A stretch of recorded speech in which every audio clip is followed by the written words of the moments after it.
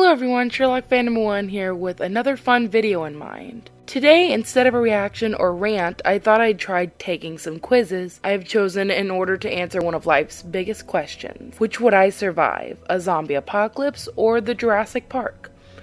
I'm pretty excited to find out the answers, so let's just jump right in. So Here we are at the website, and here's the first question on the Would You Survive a Zombie Apocalypse? Are you one of the first faves to go? First question is Where are you hiding from the zombies? A secret bunker?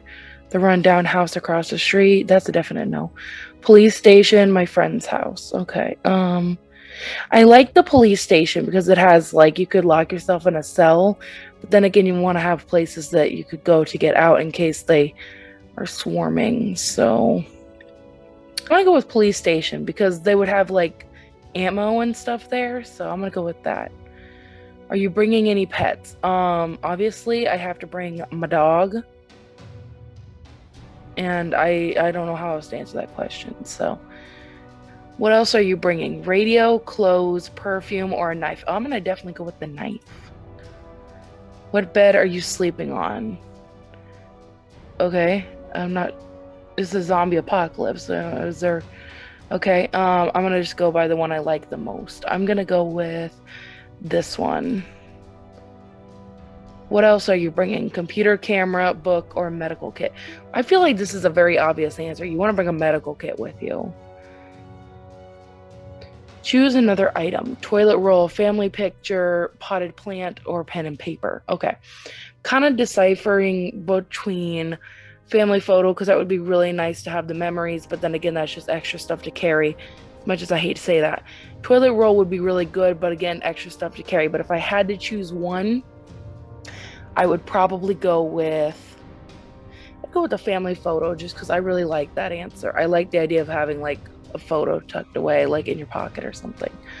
One more thing money, CD player, fridge, or charger. Okay.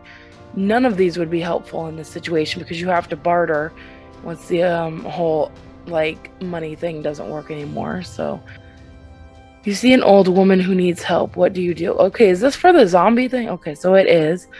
Uh, leave her, panic. She could be a zombie. I didn't see her. Help. Oh, this is a more dilemma question. Mm.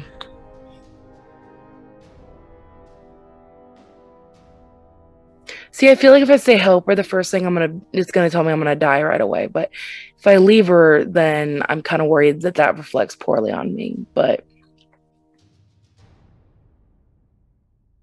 I'm gonna probably die saying this, but I'm gonna say help her. You'd become a zombie yourself. Fantastic. That's exactly what I thought.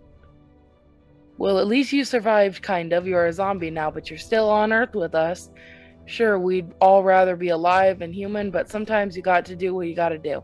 Yep, I kind of figured with that one answer that I was like, yep, I'm going to turn into a zombie. Right, okay. On to the next quiz. Congratulations, you got to Jurassic Park. Would you prefer to be alone or with a, gr- with a group? More people.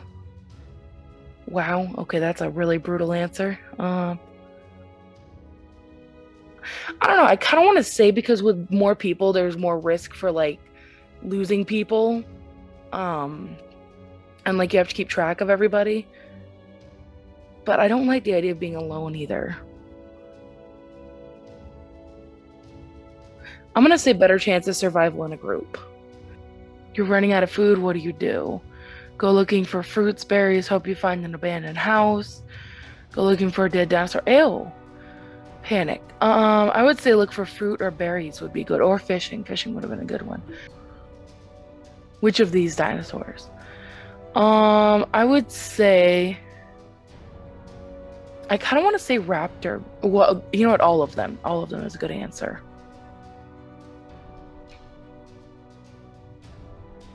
I will survive. I think that is not right at all, but I, it says I will survive. So, yay.